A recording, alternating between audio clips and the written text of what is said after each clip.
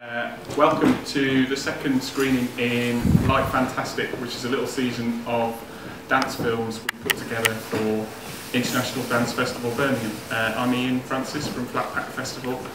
Uh, finished um, about six weeks ago, so you've missed it, I'm afraid, but it often happens in here, along with lots of other places, uh, every March and all over Birmingham.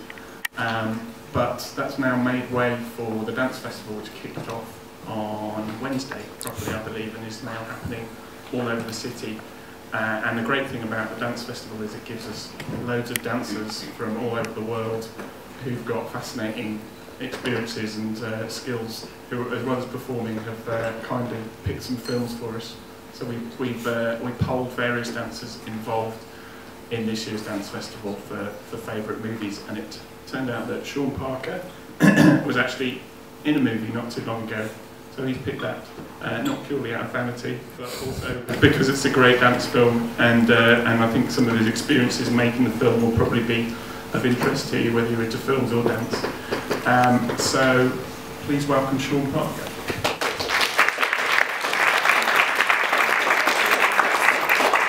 Just to, so you know the context, Shaun's currently working on something called Spill, uh, which is taking over playgrounds all over Birmingham and the West Midlands, and we'll talk about that in a bit, but um, maybe you could tell us how you got involved in Moulin Rouge, Shaun.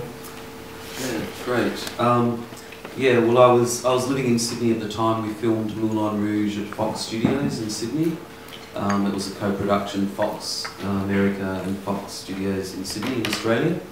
Um, oh, sorry. So I was basically I danced for about ten years in Australia and in Europe as in theatre, dance theatre and then Moulin Rouge, Baz started to, to start working on Moulin Rouge, and uh, the choreographer John O'Connell, who choreographed the work, I'd worked with a couple of times in the past, um, so we already had a, a, a, strong working rapport over that time, and and um, I actually bumped into him at the airport. He was on the way to LA to start meetings and everything, and I was off on a tour, a theatre tour, with Australian Dance Theatre, and. Um, he just said, oh, I'm about to do a movie, and he talked about the dates the following year, and because I'd worked with him before, um, I, he sort of said, I'm really interested in you being in it. So I sent through some footage and, and film clips, etc., of the dance that I'd done, and um, so Baz invited me to go in the film. So it was quite an amazing process to be a part of. And in, in Australia, in Sydney, to have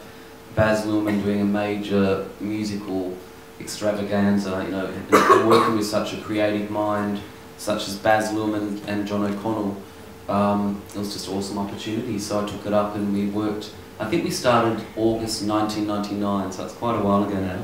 And I, was, I think I was about 28, and then we did uh, three months of filming. Um, it was quite an extensive process. They built a, on Fox Studios, a, a big studio at the back it was sort of like a huge shed which they laid with dance floors, so it was sort of our home for three months. So we would be in there working through all the choreography, the, the tango, the Like a Virgin scenes. Um, Nicole and Ewan turned up, who were the lead performers. And, um, you know, Nicole had danced as a, a, kid, she did ballet. So, of course, um, um, John O'Connell was training her up again, doing ballet and yoga with her again. And then she would come in and we, we had sort of about a one month workshop period because it was really important for Baz that the dance movement of all the actors and the, the dancers themselves was very crystallised. So we created a number of scenes over a month. So it was sort of like a little holiday camp for dance and on the back lot there.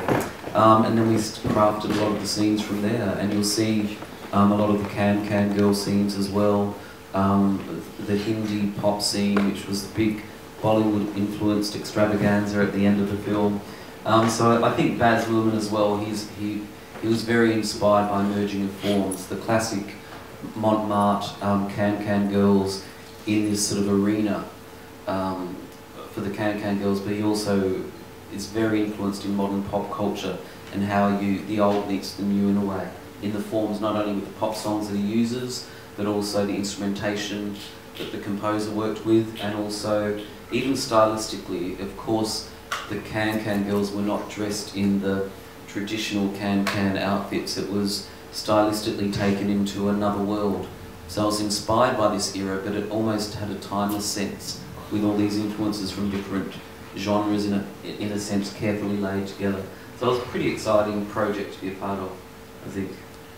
So you, you've you've done 10 years on stage. What what were the the big, what, it was obviously a bit of a culture shock going from theatre to film. What were the big changes for a dancer to, to work on a movie?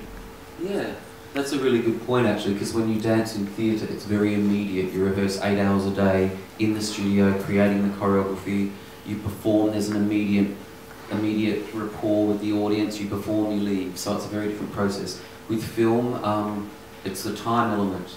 Theatrical time is very different to filmic time, and so when we're crafting um, different scenes, there'll be a, a, one day a three-hour wait. So of course, within that three-hour wait, you have to keep your bodies warm, keep your mind focused on the choreography because they might just say, okay, we're ready now, and you have to be ready to film straight away. So, but I think a lot of the time on set, there's so much to look at. Watching Baz work, the way that he worked with the cameras, he was very uh, precise um, in the way that he filmed each of the scenes. Um, so that would be a very large difference, is the, the element of time and the fact that you may have to do 13 takes of the tango in a row, for example.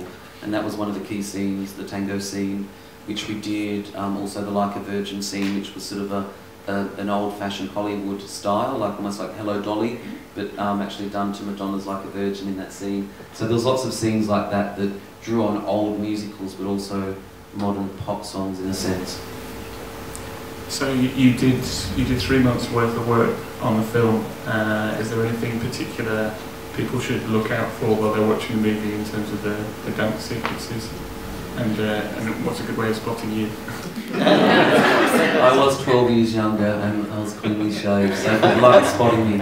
Um, but I, the, I, we danced in um, the main scenes that I danced in the tango with Caroline O'Connor, who is the lead um, um, tango dancer in that. So I worked a lot with her in the tango scenes, in the Like a Virgin scenes. I'm one of the dancing waiters.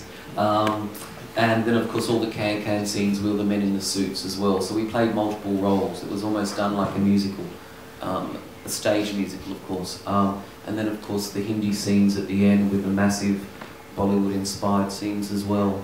So wherever there's dance, the key, there was 16 of us. We were in, in every scene. Um, we were the Montmartre dancers. Um, and then, of course, we had guest artists coming in to play um, a variety of roles. In fact, there's actually a girl, she's a very good friend of mine, her name's Kiruna Stamell, and she played the Petite Princess, and she's a short-statured performer. Um, and um, that's where I met her actually, and become very good friends since, and she's recently been on the new uh, work uh, Ricky Gervais did. Um, she actually features in that as well as, as a short-statured person. It's sort of political comedy.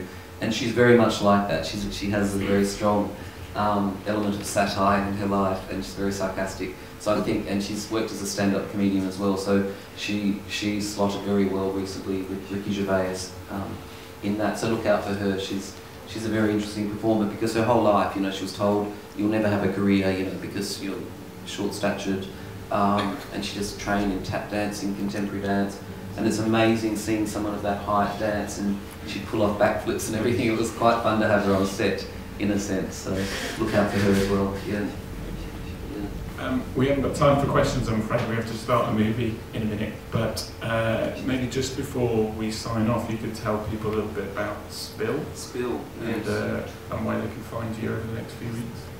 Great, yeah, well, Spill, I'm choreographing um, a collaborative work called Spill in the International Dance Festival of Birmingham. Um, so look for it in the, um, in the programs.